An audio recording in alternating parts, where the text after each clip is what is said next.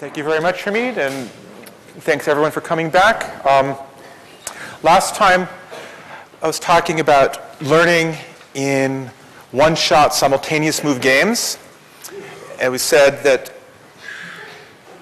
you shouldn't necessarily expect Nash equilibrium the first time people play a game, but if they play the game repeatedly, observe what's happened, play stabilizes, then it would converge to the Nash equilibrium. These are the, the possible stable long-run points.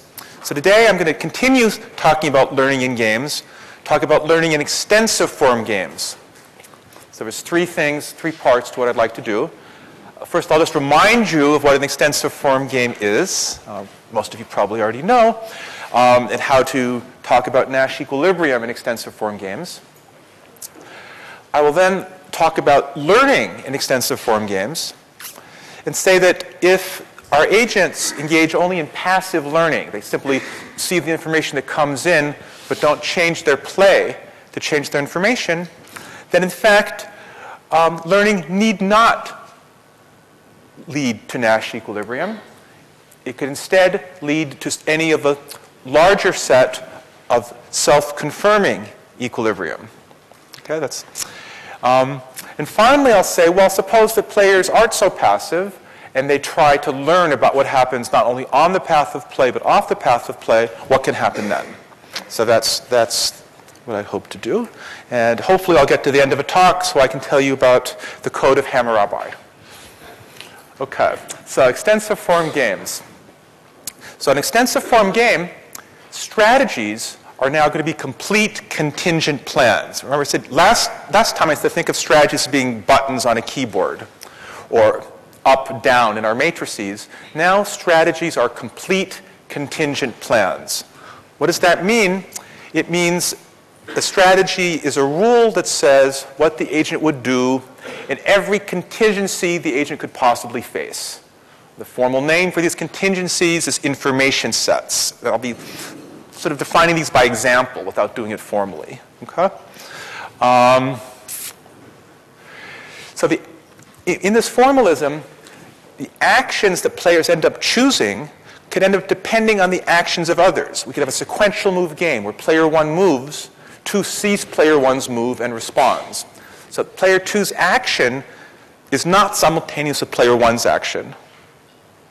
But nevertheless, we can think of the players as choosing their strategies simultaneously. Yes. In order to define an extensive form game, we have to define this collection of information sets or contingencies, have to find actions, payoff functions, and the easiest way to explain it um, is with an example. So here's an example. This tree on the top is the way that we normally represent extensive form games. So player one moves first, playing up or down. If player one goes up, there's a dot there with the numeral two. Player two gets to move and chooses either A or B. If player one goes down, then two gets a move choosing either C or D. And there's these two separate states for player two, two separate things that player two could know, are two different information sets for player two, these nodes. Okay? So,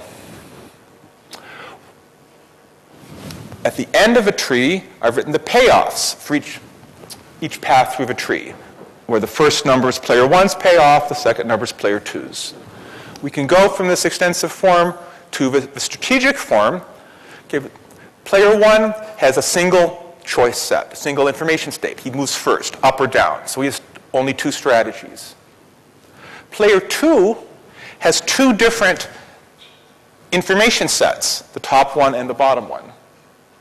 At each set, player two has two choices.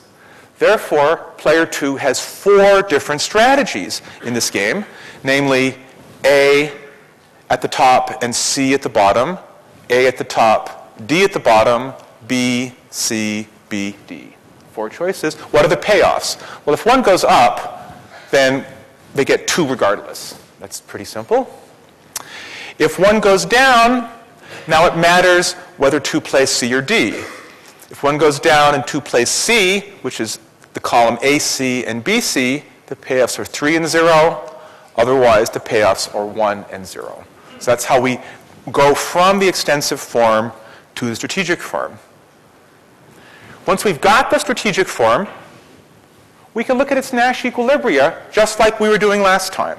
Nash equilibrium is still a strategy profile where given the strategy profile, no player can gain by changing their play. So what are the pure Nash equilibria here? Well, down and AC looks like an equilibrium because one doesn't want to change, trading 3 for 2, and 2 doesn't want to change, 2 gets 0 regardless. So that's a Nash equilibrium. So is down and B comma C. That's also a Nash equilibrium.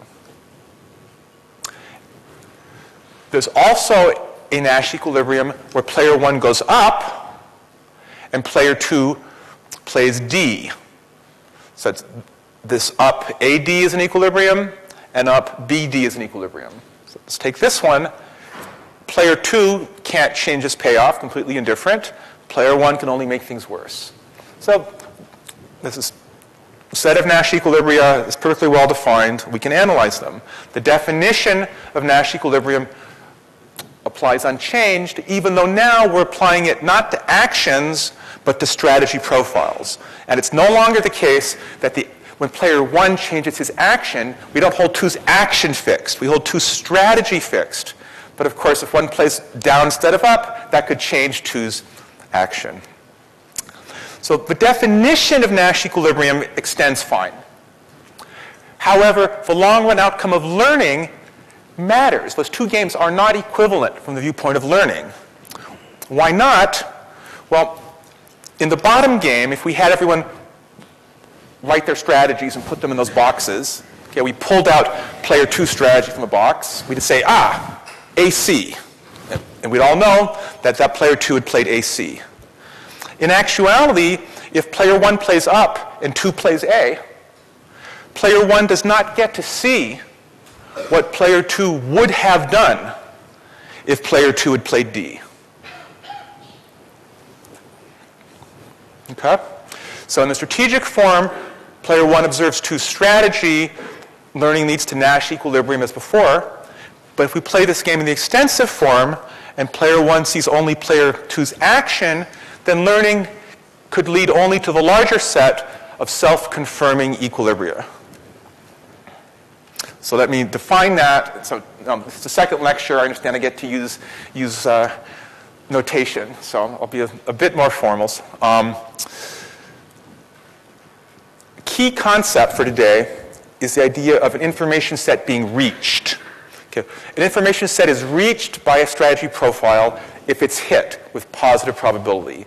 So, so if your pure strategy profile is very easy. Either information set is hit or it's not hit. If it's a mixed strategy profile, then maybe this information set is hit with probably a third. It still counts as being reached. Any non-zero probability will count.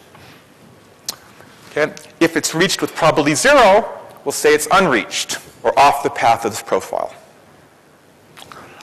Let a probability measure for each player i, let mu i describe player i's beliefs about the opponent's play. Okay. And let sigma be a mixed strategy profile, where each sigma i corresponds to a probability distribution over the pure strategies of player i. So one third up, two thirds down, for example. And as, and as yesterday, this distribution well, could either be because player one is spinning a spinner with weights one third, two thirds, um, rolling dice, or because there's many agents in the role of player one, and one third of them are playing up and two thirds are playing down.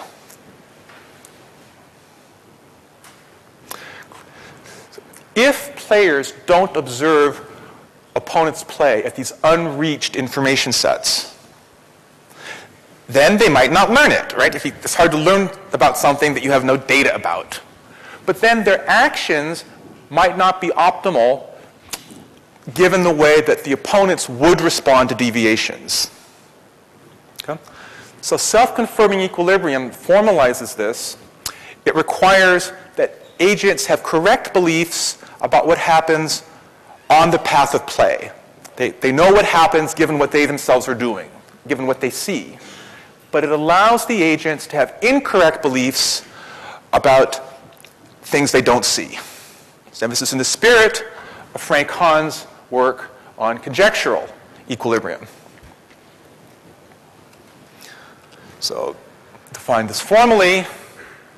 A strategy profile sigma is a self-confirming equilibrium, I'll say SCE, if for each player i and every strategy Si that has positive weight,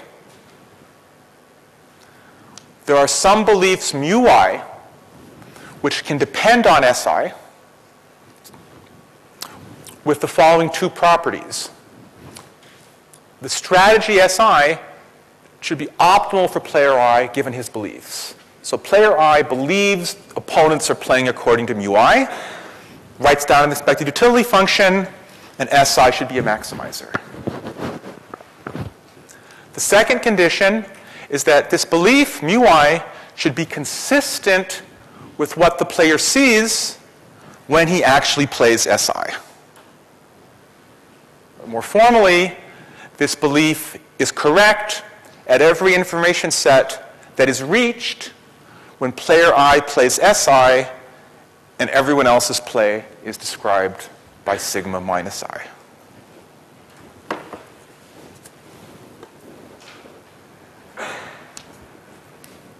Okay, so I've just defined this equilibrium concept. I'm going to um,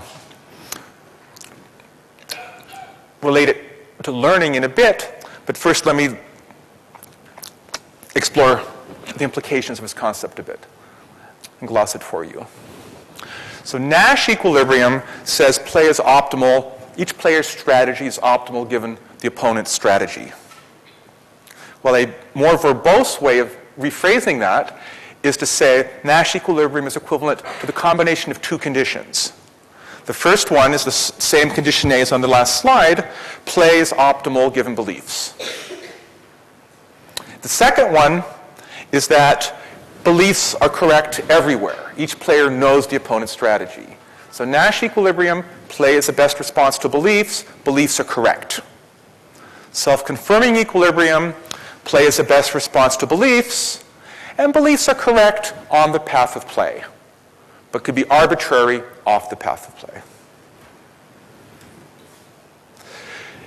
If we have a static game, like the games we were playing last time, each player has a single uncontingent action, then each player has a single information set which is always reached, regardless of opponent's play. So Nash equilibrium and self-confirming equilibrium are equivalent in the games we were talking about yesterday.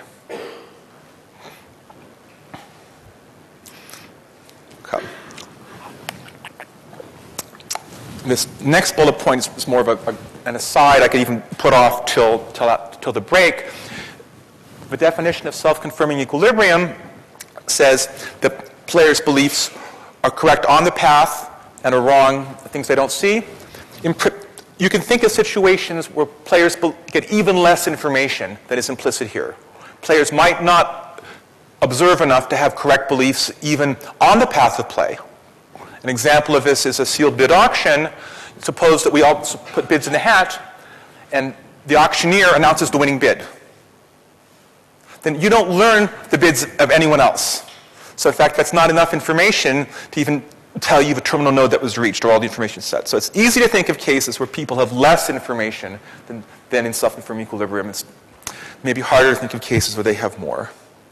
Now, something that hopefully caught your eye in the definition was the quantifier. We said for each SI, there are beliefs mu i. So that lets player i have different beliefs when he's playing different strategies. So that might seem a little odd. If player one is one guy, how can he sometimes think this and sometimes think that? Okay? And if there is a single player one, it doesn't make so much sense. The reason for this, this, this um, flexibility of definition is we want to capture situations with many player ones and many player twos, which I argued was important for motivating the whole learning program.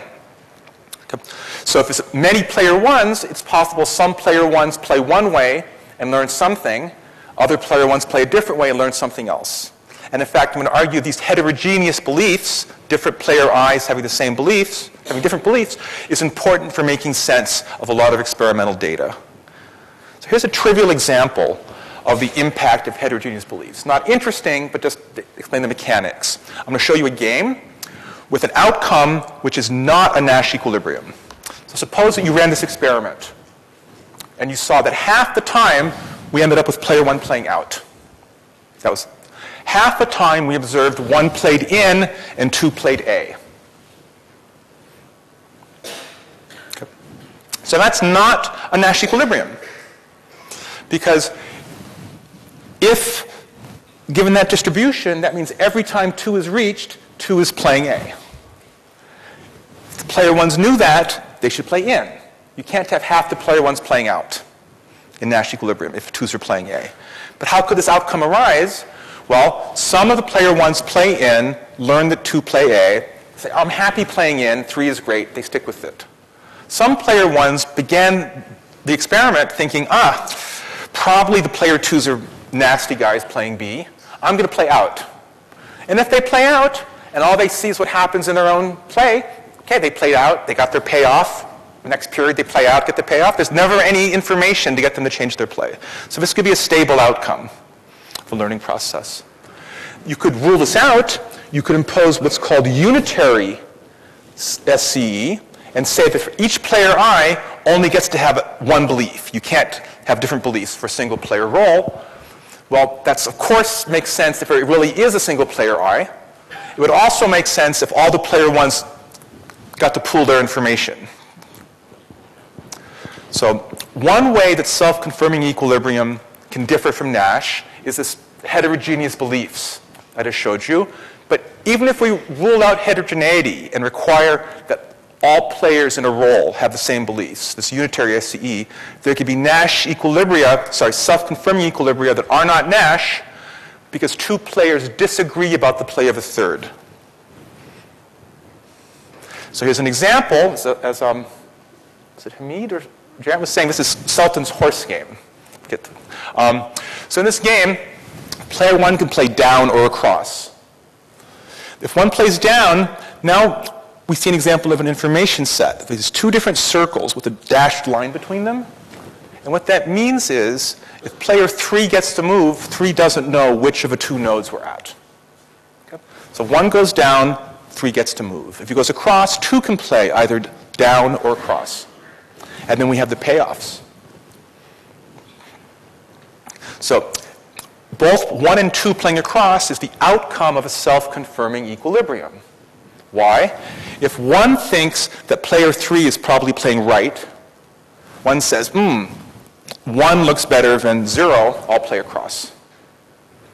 If player two thinks that player three is playing left, then two says, you know, I could have one or I could have zero, I like one. They both play across.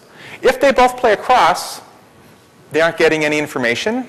So that's why this is consistent with self-confirming equilibrium. Um, it's not the outcome of a Nash equilibrium. In any Nash equilibrium, 1 and 2 have to think the same thing about 3, whatever it is. But whatever 3 is playing, there's either going to be weight more than a third on left or weight more than a third on right. There can't be weight less than a third on both. And if there's weight more than a third on left, then 1 wants to go down. If it's way, more than a third on right, then 2 wants to go down. So it's not Nash, it is self-confirming. And looking ahead a bit, see these threes payoff here is x at this node and y here. Suppose that players 1 and 2 knew player 3's payoff function and used that to restrain their beliefs. Not only observational data, but payoff information. Okay?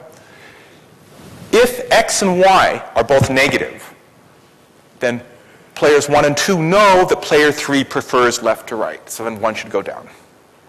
Okay. But if x and y have the opposite sign, then it's not so clear.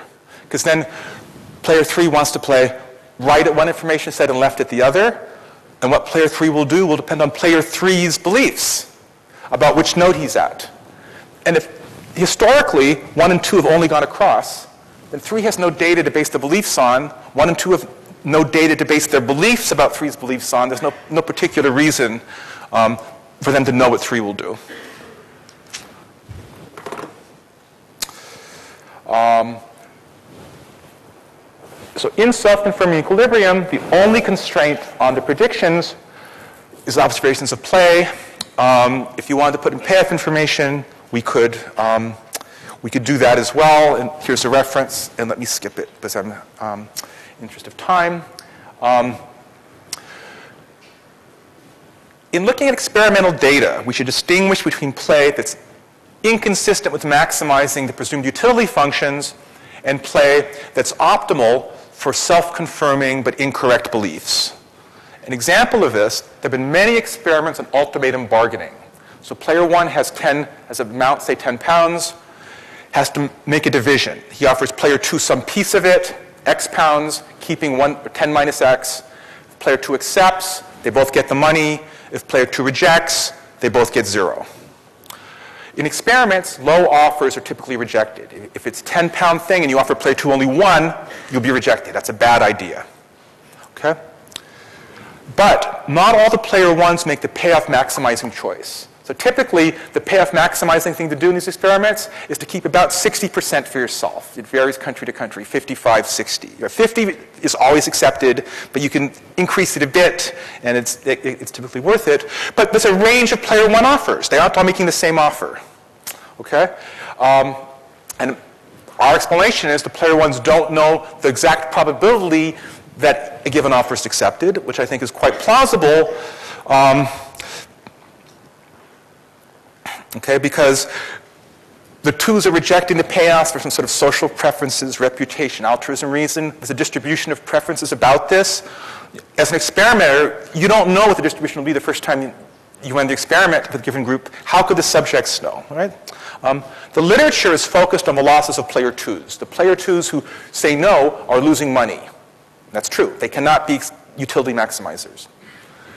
But there's also the losses of the player ones who are making, who are offering 50-50 instead of 60-40 or offer, offering, trying to take all of it and being rejected. And those losses are typically three to five times larger than the losses of the player twos. So, so they're important in the data, and they're not consistent with Nash equilibrium. And they're not consistent because they have a Bayesian equilibrium. Some player twos are altruistic and some are normal. But if you have a, a prior on that and the ones Novus distribution, they're all going to make the same offers. So you can't get this heterogeneity out of Nash equilibrium. It's very natural with self-confirming equilibrium.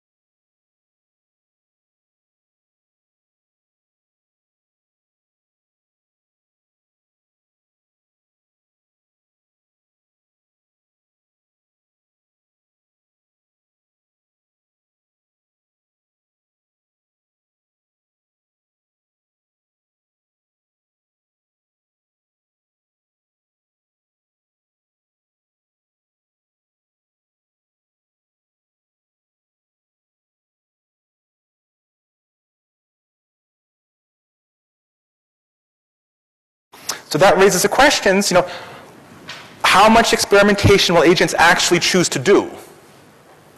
And which information sets will they learn about?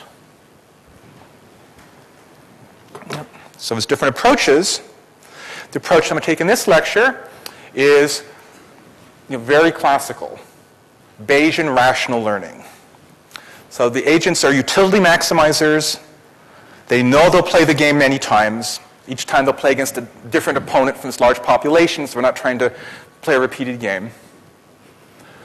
They know the extensive form of the game. They don't know their opponent's strategies. They're trying to learn the opponent's strategies. Because of this large population, the agents believe a distribution of play is exogenous. So you trying to learn what the player twos do, you, don't you can influence player two's action, because two strategy might say, if up, then down, if A, then B.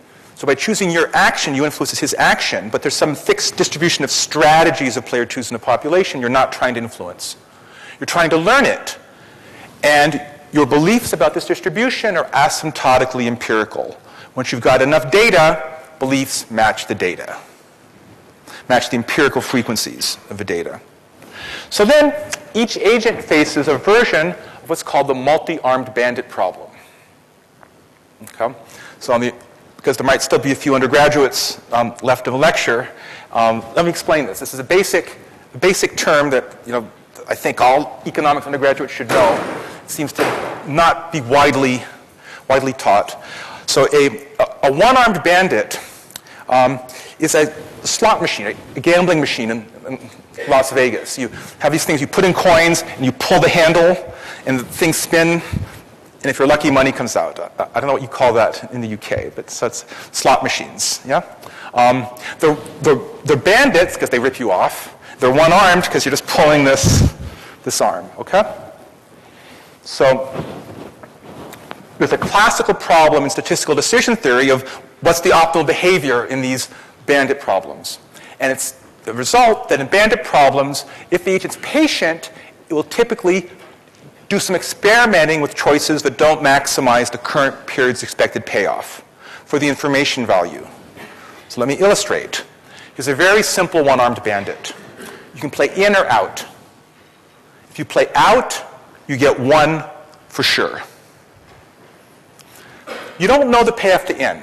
Either in always pays you 2 or it always pays you 0. Okay? So if you only play once, and the probability of always, uh, sorry, let me correct the slides. If you only play once and the probability of this 2 payoff, not always it, the probability that the arm pays 2 is 0.4, then you choose out. Y out gives you 1, and in gives you 0.4 times 2. But suppose that the agent plays re- repeatedly, okay? Only gets to see the outcome if he pulls the arm. You play out, you don't get to see what would have happened if you played in. And suppose that the future payoffs are discounted by 0.9 per period. That's an infinite horizon, stationary, dynamic programming problem. If you always play out, your payoff is 10 per, per period. Uh, no, it's 1 per period, second typo. Sorry, it's 1 per period divided by 0.1 because that's the um, 1 minus 0.9. So value of 10. I got the answer right. Details in the middle. Um, if you always play in, well, 0.4 of a time, that's a good idea. And then you get 2 per period for a value of 8. 8's less than 10. It's just the 1 versus 0.8 comparison before. But something else you could do that would be more clever, you could try in once. And if it gives you the 2, aha, I'll stick with in. Gives you the out, you play 0. So what does that give you? Well, with 0.6 probability, um, the arm gives you 0 today. Therefore, you switch to out in the future. So you get one per period starting tomorrow.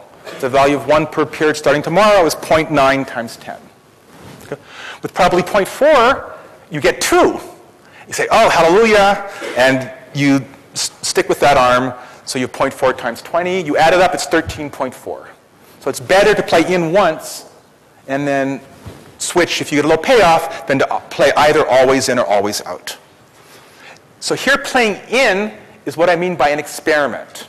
It's an action that's being taken that does not maximize the current period's expected payoff. In terms of current period, in gives 0.8, out gives 1. If you're only playing once, you play out. But it's still optimal to play in once for the information value. Okay, note, in relation to my 1 over t assumption, that for a given prior and almost every discount factor, the agent is going to strictly prefer one of those three strategies. He won't randomize. Now, randomizing can't help you in a decision problem. If you happen to be exactly indifferent, you might, but you, you won't randomize. This, this 1 over t thing, you know, it's, it's, very convenient. It's not even close to what rational agents do.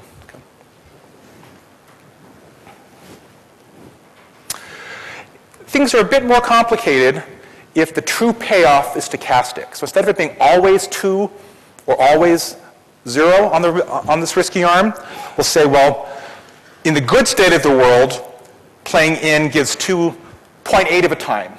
ID, and um, zero the rest. But in the other state of the world, you get um, the good payoff with only probably 0.2.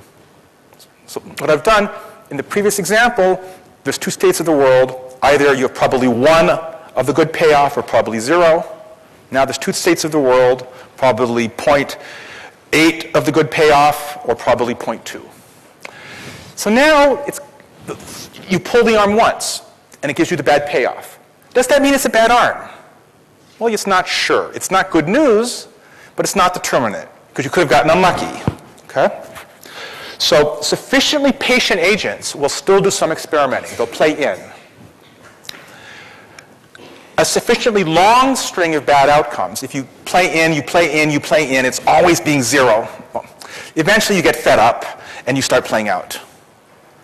Once you start playing out, you get no more information, so you keep on playing out. So it's called locking on to the safe arm. And if there's some noise in the payoff, that even if it's true that the expected value of in is greater than that of out, the expected value of in is more than, than 1, it's still possible you'll get some string of outcomes that makes you think it's, it's a bad choice and stop playing it.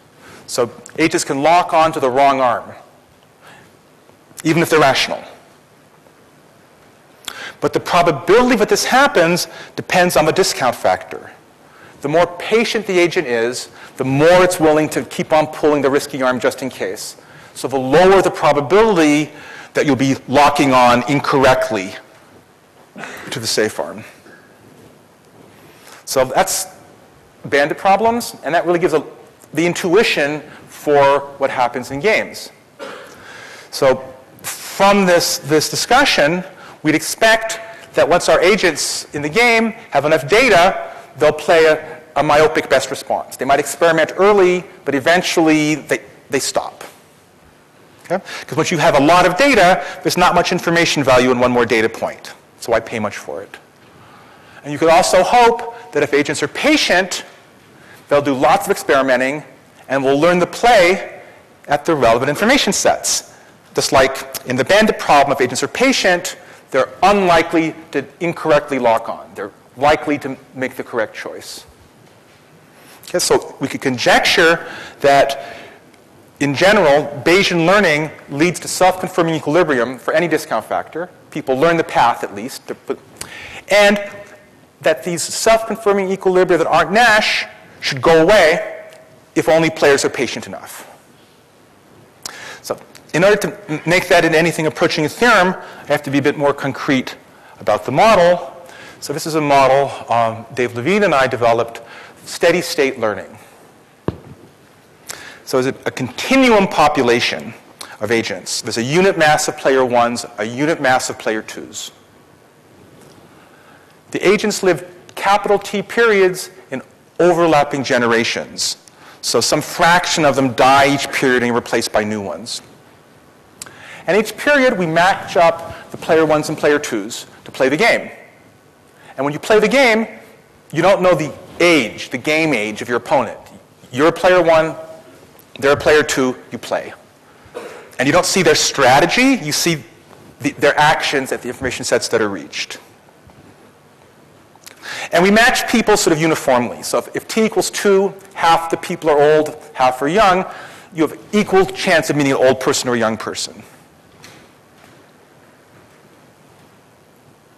So this system has a steady state.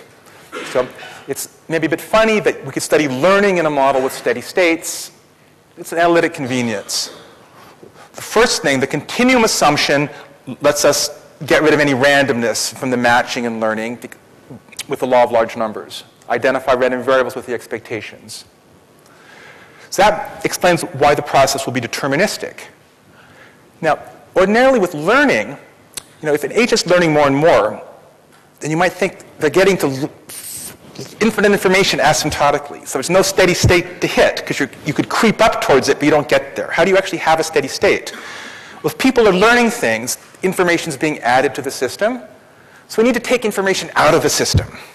So how do we get rid of the information? Well, people are leaving the system. The agents, when they get the capital T, they die or they're mind wiped, which is equivalent, and their data leaves. So if we have sort of outflow of information, it's possible to have a steady state. It's sort of trivial theorem. The system always has a steady state for any lifetime.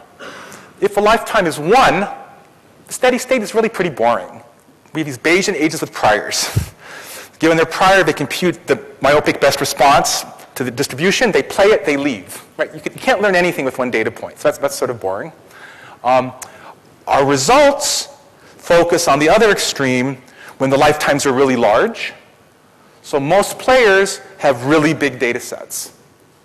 It would be interesting, something we haven't gotten around to doing, to try and get results for like t equals 5 or 10. So there's a non-trivial share of new players. If you want to think about describing play in a you know, poker game or something, then the optimal play isn't necessarily a play against something everyone's expert. You know, a certain fraction of the population, you know, doesn't understand the game very well. You might want to change your play to take advantage of them.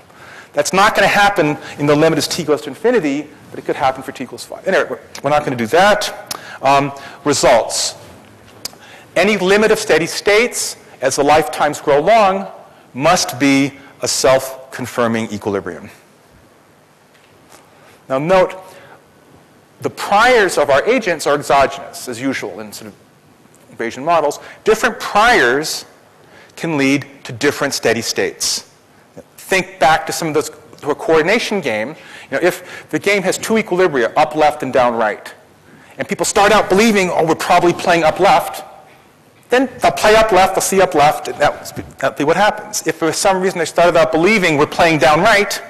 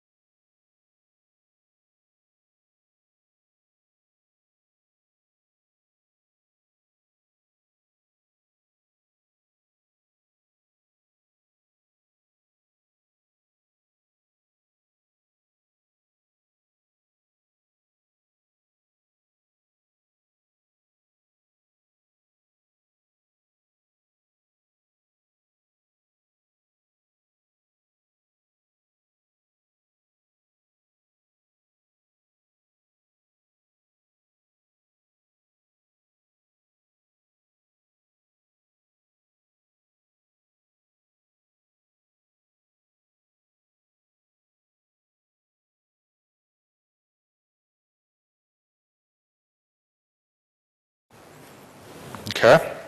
Why? Because just which equilibria arise depends on what players learn about nodes two or more steps off the path of play. The, we prove that they're Nash by proving they will learn what happens one step off the path. What do they learn two or more steps off the path? So the full answer is not known. It's only known for a restricted class of games called simple games. These are games of perfect information, which means that every information set's a singleton, or more prosaically, it's people take turns and the actions are observed. So chess is a game of perfect information. Bridge is not.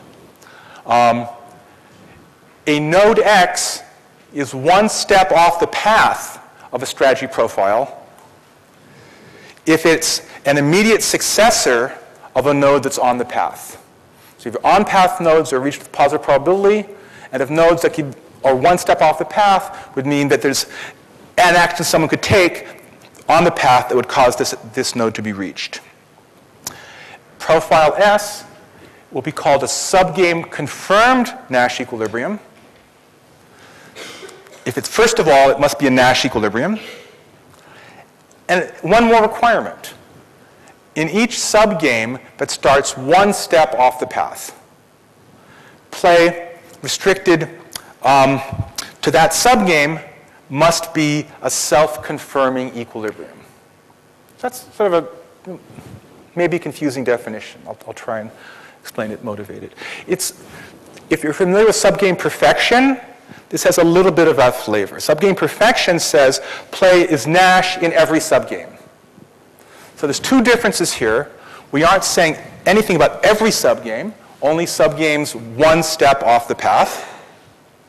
And we're not saying Nash in the subgames one step off the path. We're saying self-confirming in the subgames one step off the path. And the result is that in these simple games, a pure strategy subgame confirmed equilibrium is a limit of steady states. So this is the converse result.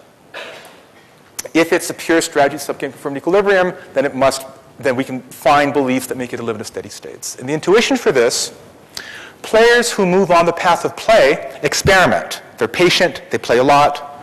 They learn what happens if they deviate, which is the nodes one step off the path of play players one step off the play, if if, even if they don't experiment, they're reached a lot. So they learn what happens if no one else deviates from there on. But, and now we come back to my question of how much experimentation player 2 would do at an off-path node, these off-path players needn't experiment at all. Why not?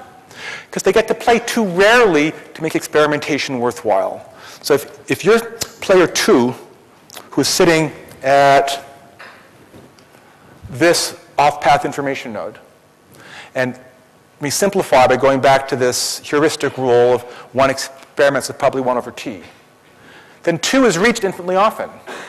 Okay? If 2 does not experiment, 2 does not learn 3's play. Should 2 experiment? Well, if player one only very occasionally plays B, then the expected waiting time till player two gets to play again is very high.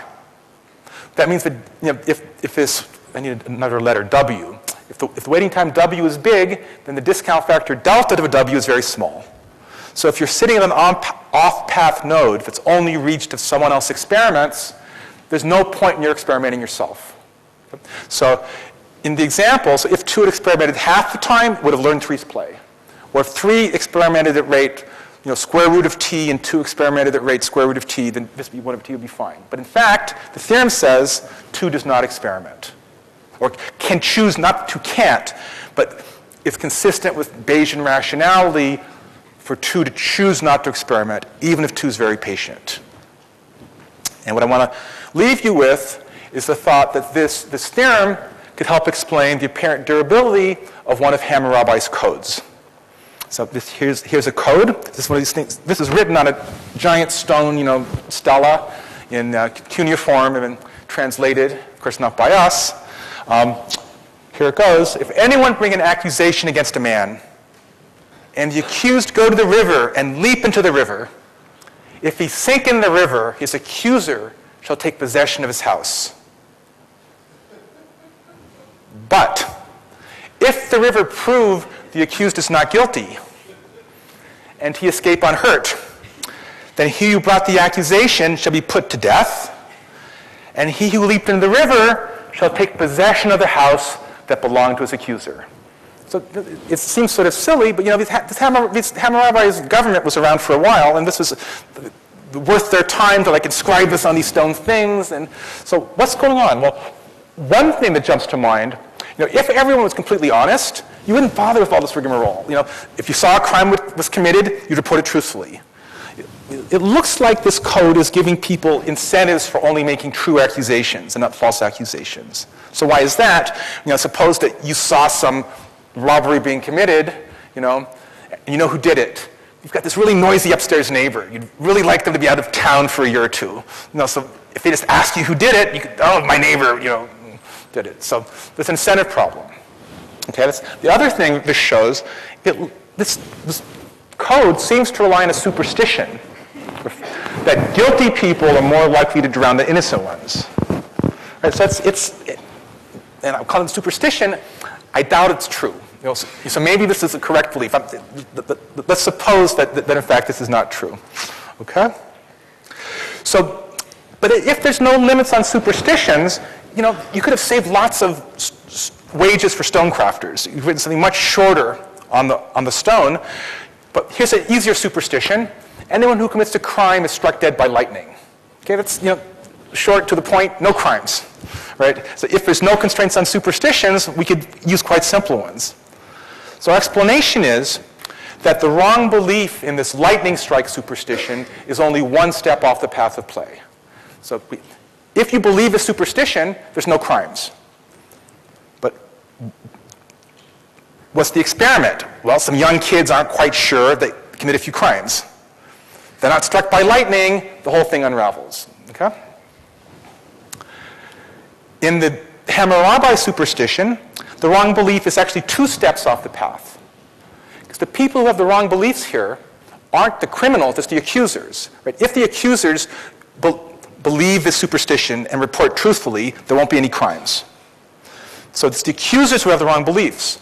But the accusers only get to act, we'll assume, when a crime's committed. So, so maybe you could fabricate evidence and, and, accuse people when there's no crime. It's more likely something's missing and you can say who did it. If there's a dead body, you say who did it. You, it's hard to say you saw a crime, you saw a murder when there's no body. Okay? So if people believe the superstition, in our model, what would that mean? Well, the, there'd still be a few crimes, but only be the young people who, who committed these crimes, which means it'd be quite rare because most people aren't young people. So the, the accusers would only get to play very rarely, so there'd be no, there'd be no information value in, for the accusers in experimenting with false accusations. Okay? Now, the model is very stark and simple. You say, how could you, you know, use this to, to think about this real world problem? And in practice, there could be other sources of experimentation. So in our model, the only experiments the only time there's crimes is someone chooses to do it for the information value. There could be exogenous experimentation. For example, suppose the payoff functions aren't fixed, they're stochastic. And some people, when they're young, you know, have a short-run benefit from crime. They think crime pays, okay? Or if it's crazy. So if, if there's some fraction of these, of these exogenous experiments, that changes the calculation. And if enough, if it's enough exogenous crimes, then the accusers will make some experiments and the thing unravels. Um, but in the US today, the probability of being called as a witness is quite small. Okay? So most US citizens aren't called even once in their lifetime as a witness in a trial. So if you are called as a witness in a trial, you know, what's your incentive to experiment with things to get information that will help you the next time you're a witness? Okay, so hopefully for most of you, that's, that's, a, that's it's a very small number. Um, so witnesses, in fact, don't have much incentive to experiment here, and we suggest that the same was true in Babylonia. So summary, false beliefs two or more steps off the path can persist for much longer periods than false beliefs about play zero or one steps off the path. So our formal model, you know, as all models, is simplified and stark. And it says false beliefs two steps off persist forever. So I don't literally believe that, and there's a number of chuckles about, about this code, but the, the, the takeaway that this is more that these false beliefs two steps off the path can survive much longer than false beliefs one step off. And, um, okay, and that could be linked to this appeal to the river superstition. And overall conclusion, if equilibrium is the result of learning, as I've argued, then just what sort of equilibrium we should expect depends on what players observe when the game is played. You change what they observe, you change the nature of the possible steady states. The nature of equilibrium, what's the right equilibrium concept, in my view, should be a theorem derived from assumptions about learning and not an axiom. So I've had some discussions with, with some of the faculty here these last few days about equilibrium. What's a good equilibrium assumption? I say, well, what kind of learning process do you have in mind? And will it lead, you know, what steady states will it lead to? I think that's the way to, the best way to understand equilibrium concepts and these sort of these, these axiomatics, um, much harder, much harder to evaluate.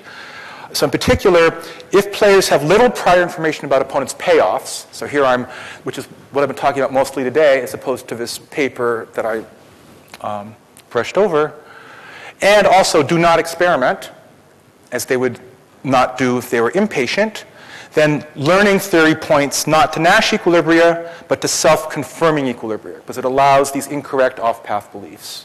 Although it self-confirming equilibria reduces back to Nash equilibria if we happen to be looking at a one-shot simultaneous move game.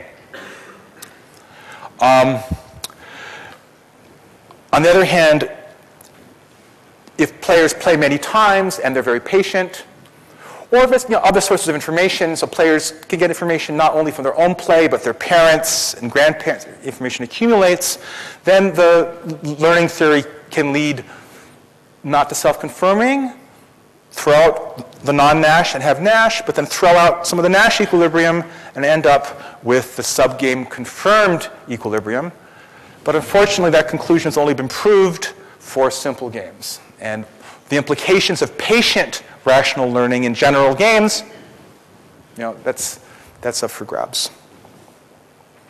And thank you very much.